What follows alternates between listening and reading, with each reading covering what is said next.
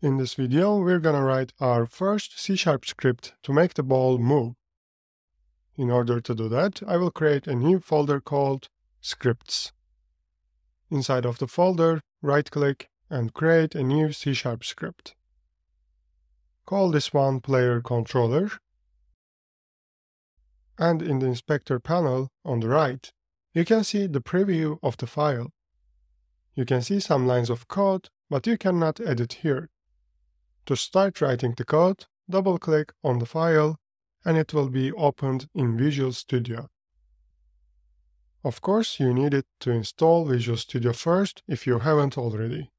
Unity Hub might already install that for you because it is included by default between the packages. Alright, once you have the C-sharp file, you're gonna see something like this. Let me explain what's happening here. At the very top, it imports some default libraries.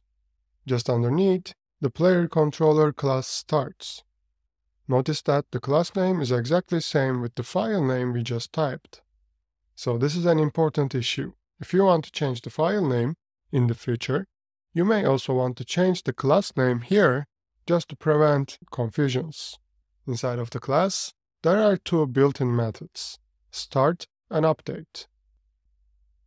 They are explained with the comments. So, for example, it's saying start is called before the first frame, which means whatever I am going to write between these brackets will be called just once when the scene is loaded in the beginning. Update, however, is called in every frame.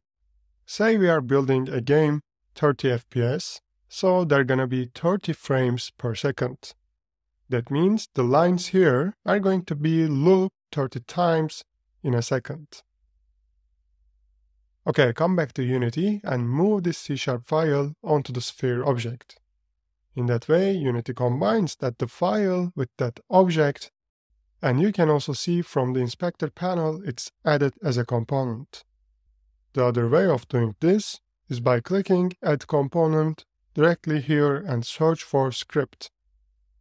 Name it and click Create. Either way works, use the one you feel most comfortable. With that being said, every object has a rigid body in order to interact with the other objects. Rigid body component handles the most of the physics stuff, such as velocity, mass, gravity, etc. GetComponent is a general function to get a component from the object to use it in script. If you type rigid body here, you can get the rigid body component. We will add that component in a minute.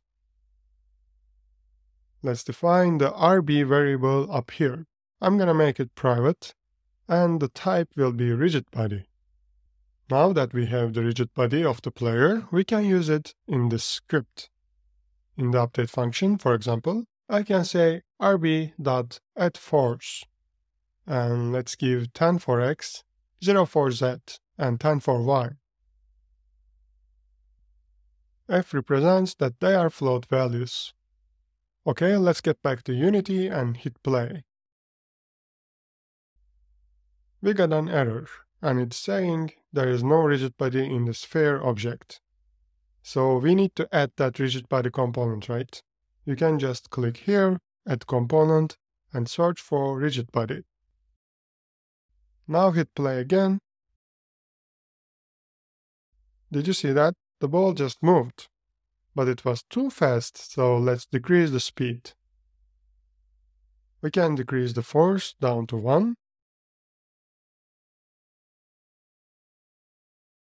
And yeah, we just learned how to add a force and move the object. One more thing to notice here, since the sphere has a rigid body, it is affected by gravity but it doesn't fall down because it is also interacting with the ground. You can see it goes down just after the plane object.